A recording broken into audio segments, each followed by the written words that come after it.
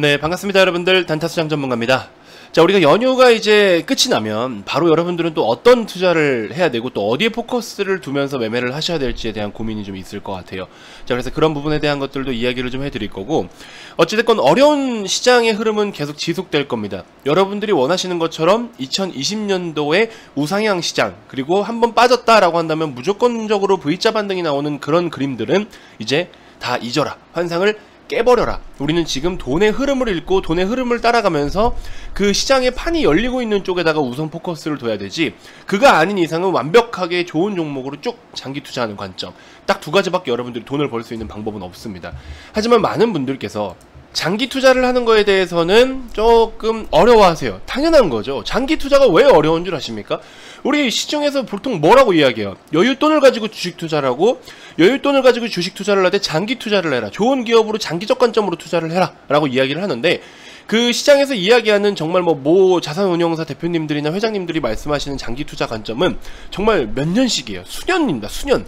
여러분들 입장에서 장기 투자는 저 같은 경우에 장기 투자는 세 달만 넘어가도 제 기준에서는 장기 투자이긴 해요. 저는 제가 트레이딩을 할 때는 제가 매매를 하면서 전업 투자 활동을 할 때는 저는 종목을 그렇게 오래 가져가는 편이 아닙니다. 일주일 이상씩은 절대 안 가져가요. 손절을 하더라도 저는 무조건 일주일 이상은 안 가져가는 스타일이었어요.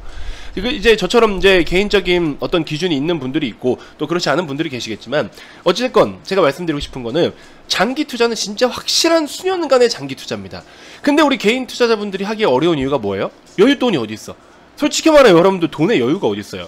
돈의 여유라는 거는 진짜 내가 돈에 치여 죽을 때까지 돈을 벌어봐야 그때 돼서 진짜 돈 쓸 거 없네. 남아 돈에 라고 해야 돈에 여유가 있는 거지.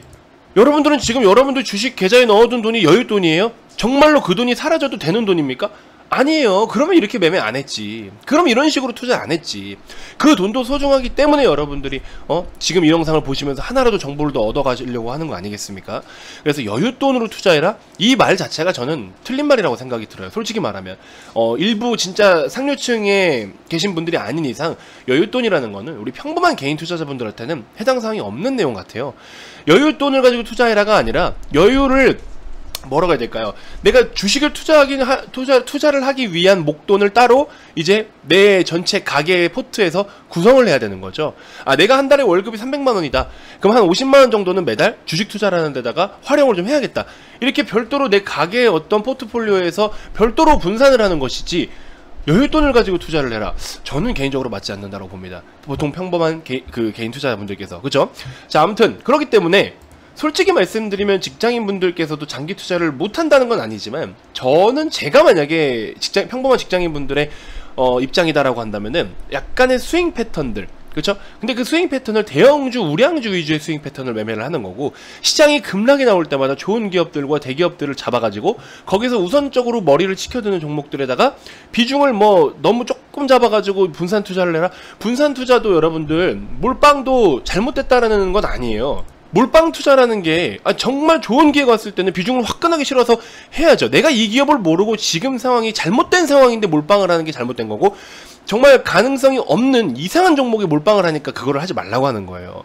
그게 아닙니다. 그래서 주식 투자를 정확하게 그 속내를 알게 되면은 비중이나 분산 투자 이런 개념 자체가 사실 없어져요.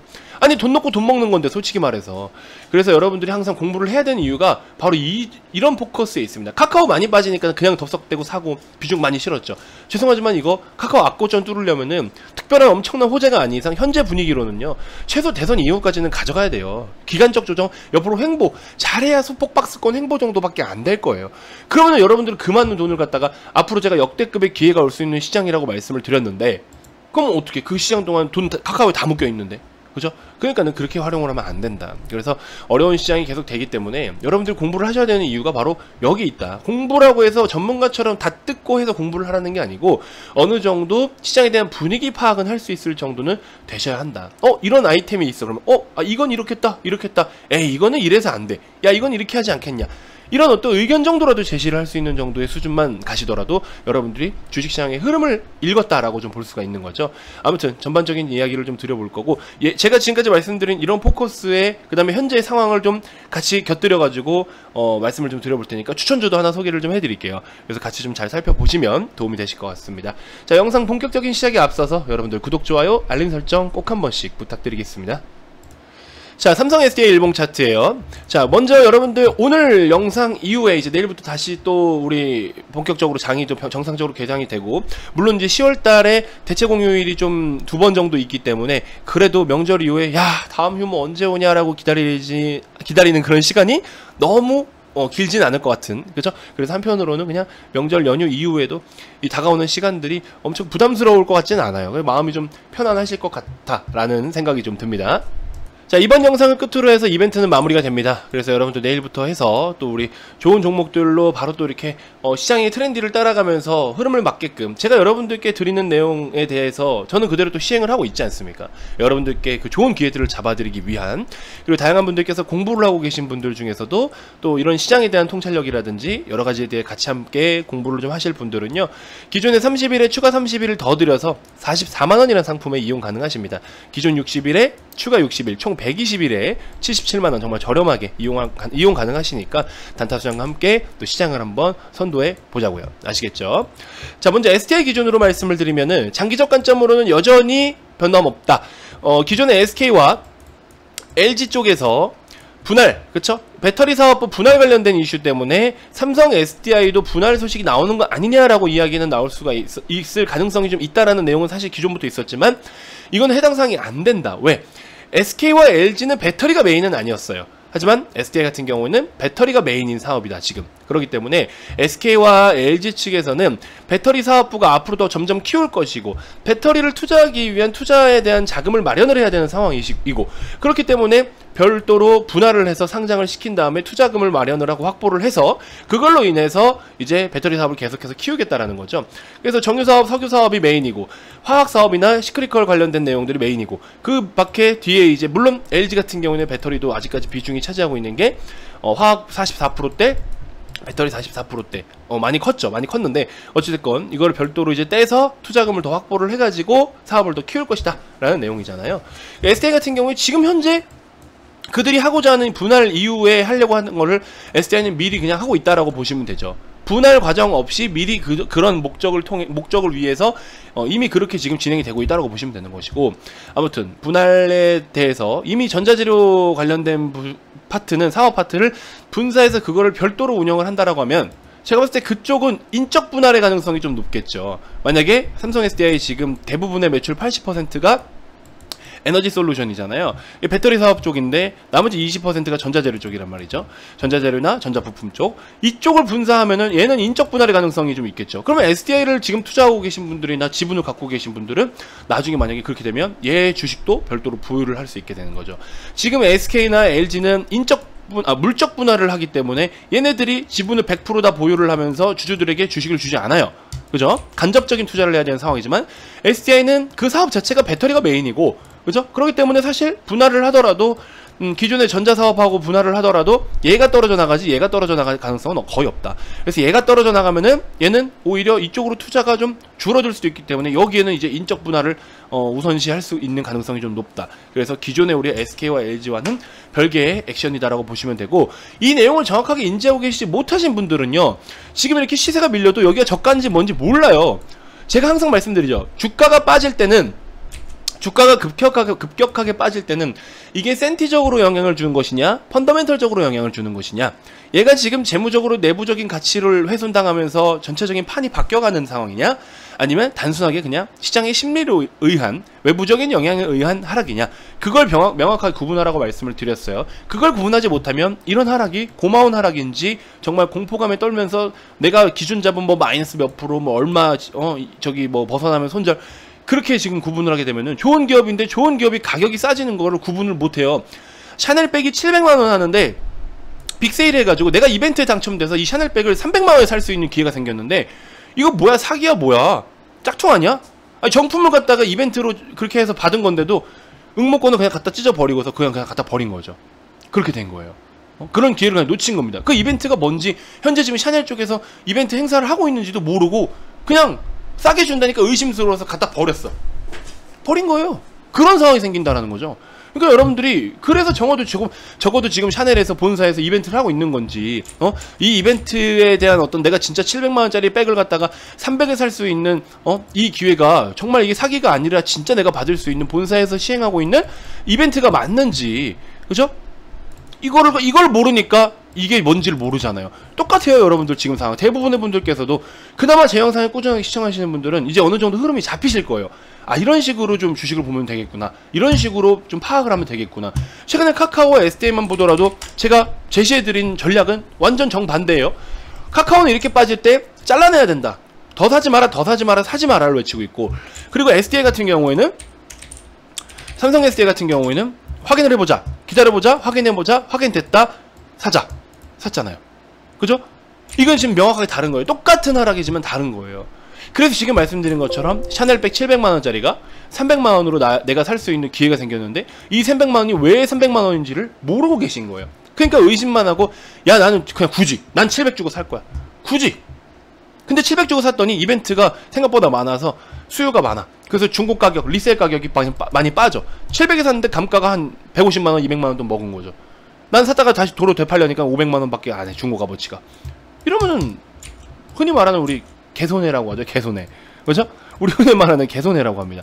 그러니까 내가 손해를 보지 않으려면 하다못해 여러분들 우리 통신 판매하시는 분들 비판하는 건 아닌데 주변에서도 자꾸 우리 핸드폰 같은 거 구입할 때 보면 가서 뭐 당한다 당한다 뭐 중고차 당한다 당한다 이야기 하시잖아요. 물론 정직하게 하시는 분들이 더 많으시겠지만 일부 극소수는 저도 예전에 한뭐 5, 6년 전에 중고차 한번 살려고 갔다가 허위 멤버를 한번 당한 그러니까 당했다기보다는 이렇게 끌려가 본 적이 있어요.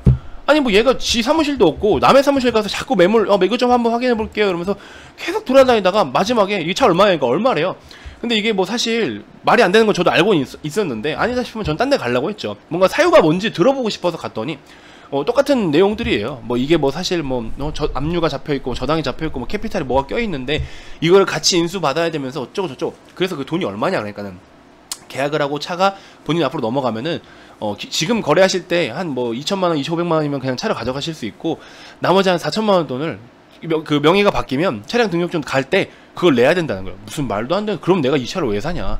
그래서 막 그렇게 해서 한번 막 실랑이를 벌인 적이 있어요.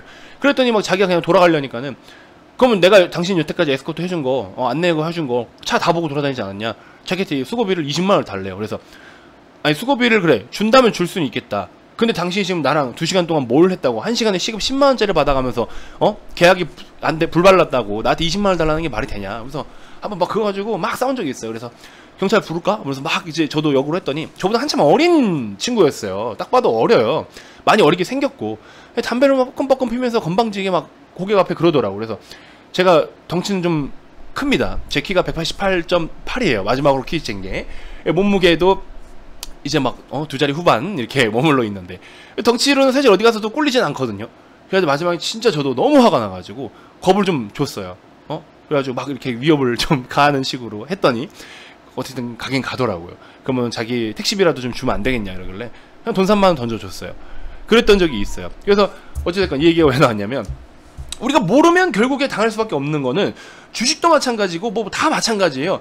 여러분들 모르면은요 뭐든 다 당해버려요. 그러니까는 주식도 어 우리는 알고도 당할 수 있는 게 주식이다. 왜? 나는 이 주식을 보유하고 있는 상황이면 그 이후에는 여러 가지 시장 상황, 외부적인 영향, 세력 형님들의 어떤 뭐 손질 이런 거에 따라서 주가는 너무나 많은 이유로 변동을 보이는데 그런 변동을 보일 때 내가 이 종목이 정말 더 멀리 봤을 때 나는 수익을 볼 수 있는 구간이 충분하다라고 느낀다면 현재 보이는 이런 하락은 뭐 세력들이 뭘 하든 공매도를 치든 뭐가 됐든 뭐 찌라시를 뿌리든 뭐가 됐든 이 주식이 막 이렇게 빠져. 그러면 단순하게 어 나 여기 여기 이상은 밑으로 못 가져가겠다.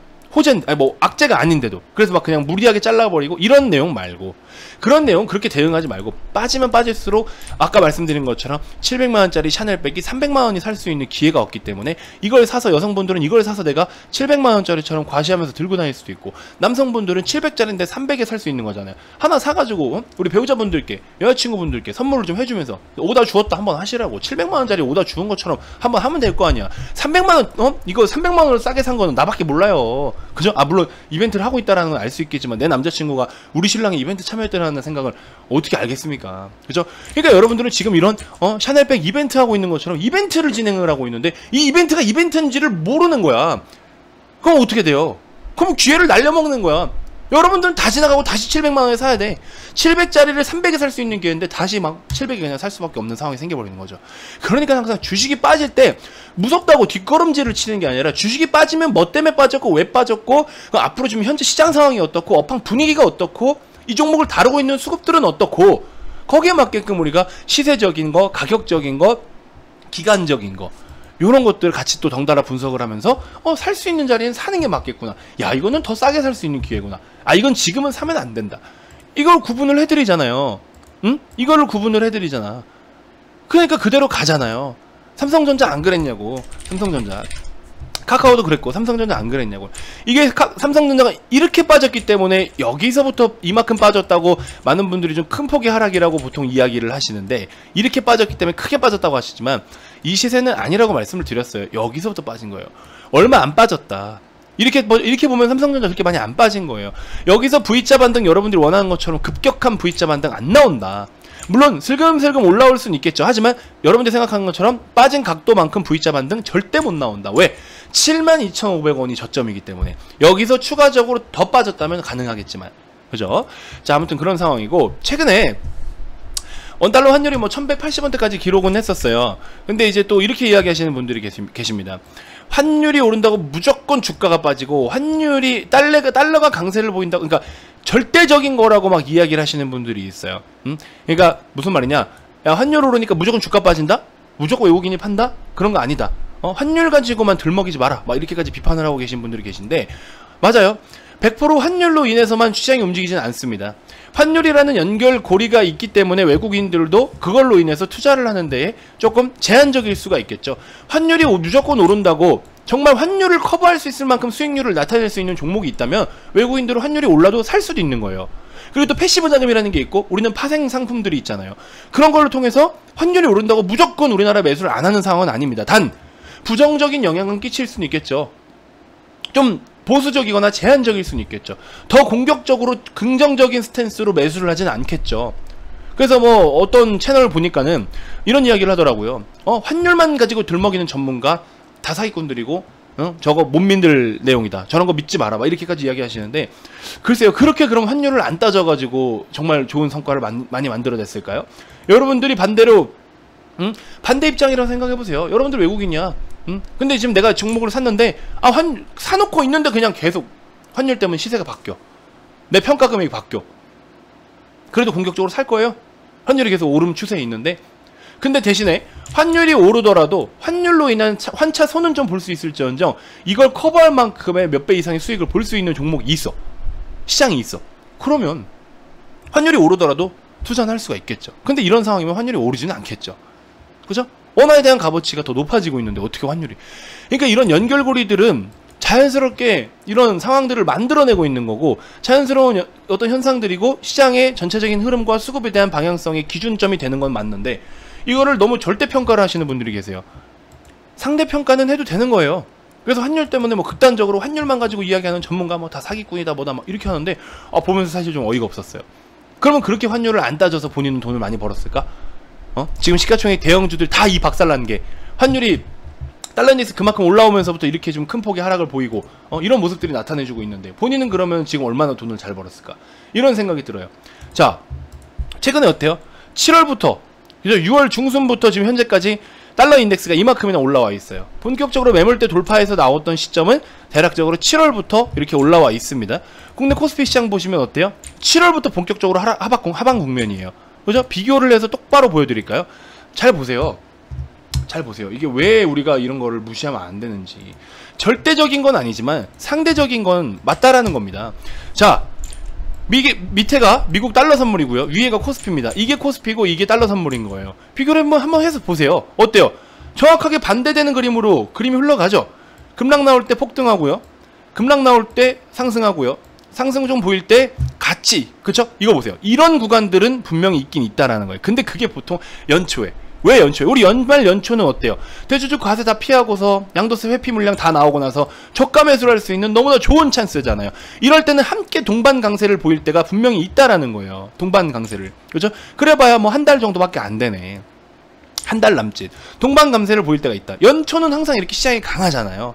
그죠? 그 동반 강세를 보일 때가 이렇게 있다. 여기도 보시면은 동방강세 1월 달에 그죠? 이럴 때가 있다라는 거예요. 요런 특정 시기, 환율이 오르는 거를 환차선을 커버할 만큼의 수익을 볼 수 있는 구간과 시기들은 이렇게 공격적으로 매수를 해서 들어가는 시기가 있어요. 이런 구간들은 있습니다. 그걸 제외하고는 환율이 오름세를 보일 때 주가가 약세, 환율이 약세를 보일 때 주가 강세.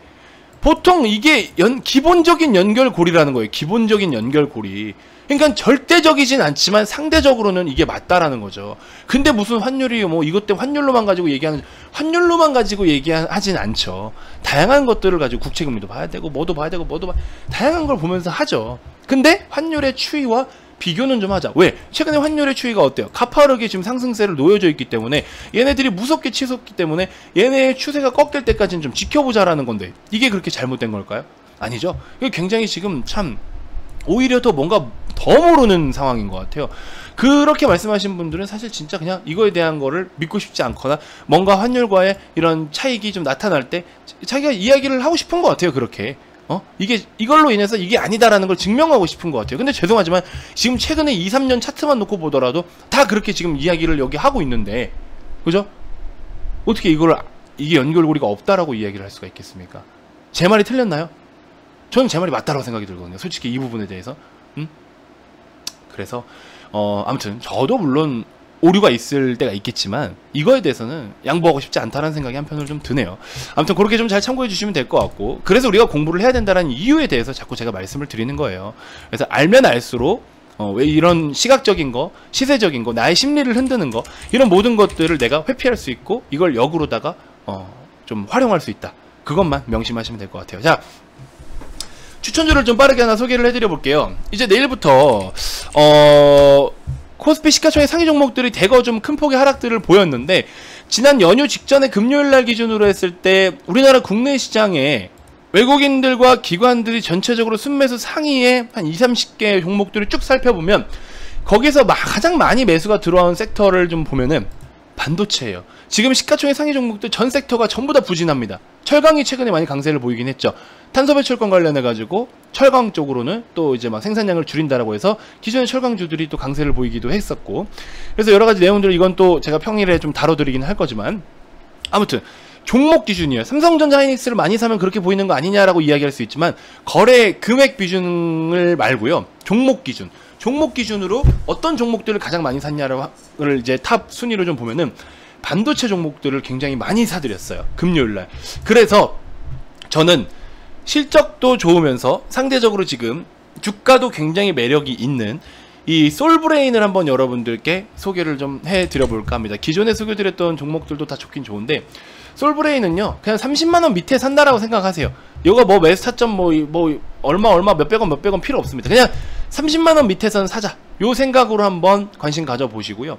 제가 볼 때 손절은 넉넉 잡고 10% 넉넉 잡고 왜 10% 정도 손절 어떻게 10% 하냐라고 생각하실 수 있으실 텐데 약세장에서는 여러분들 손절 범위를 10% 정도는 잡고 가야 됩니다. 근데 제가 봤을 때 솔브레인을 손절할 일은 글쎄요. 오히려 제가 방금 지금까지 계속 설명드린 것처럼 어떤 식으로 10%까지 마이너스 빠졌냐가 중요하겠죠. 시장 때문에 빠진 거면 더 사야 되는 타이밍이겠지만 단기적 관점으로 접근하신 분들은 한 27만 원 정도만 잡고 대응하시면 제가 봤을 때는 크게 무리 없습니다. 그래서 넉넉 잡고 여유 잡고 나는 27만 원은 그냥 손절 잡아야겠다라는 생각으로 30만 원 밑에서는 매수를 해보셔도 좋다. 그래서 편안하게 가져가실 종목이다라는 생각이 들어요. 영상이 너무 길어졌기 때문에 솔브레인에 대해서는 여러분들 한번 별도로 공부를 좀 해보시면 될 것 같고요. 어, 어찌됐건 실적에 대한 부분이나 뭐 대부분 여러분들께 소개를 해드리기 위해서 필터링은 다 됐어요. 그리고 이 종목 같은 경우에 대충 좀 말씀을 드리면 그 반도체 관련 쪽이긴 하지만 화학 재료 쪽, 그쵸? 그쪽으로 해가지고 이미 삼성전자, SK 하이닉스, 뭐 LG 디스플레이, 국내 반도체나 디스플레이 제조, 제조사에다가 이 공정용 화학 재료들 들을 공급을 좀 하고 있습니다. 관련해서도 이쪽으로 전망이 어떤지 여러분들 별도로 한번 공부를 좀 해보시면 좋을 것 같고 저도 VIP방에 공식적으로 추천을 좀 할 종목이기도 합니다. 기타 다른 반도체 메인 종목은 제가 여기서는 언급을 드리기 어렵고 그 종목은 이미 금요일날 많이 올랐어요. 그래서 얘, 그 종목 같은 경우에도 굉장히 좀 기대가 많이 되는 종목이긴 합니다. 아무튼 참 그래서 좀 여러분들 좀 잘 참고를 해 보시고 자 이렇게 해서 일단 이번 영상은 마무리하도록 하겠고요. 어, 여러 가지 또 여러분들께 도움이 될 만한 내용들 위주로 해서 많이 말씀을 좀 드렸는데 전문적인 내용보다도 여러분들이 스스로 능동적으로 해야 될 수 있는 그런 길을 열어드리는 것도 좀 중요한 어, 어떤 교육이나 이런 내용들이 되지 않을까라는 생각에 좀 여러 브리핑을 좀 드려봤습니다. 잘 좀 참고해 주시면 좋을 것 같고요.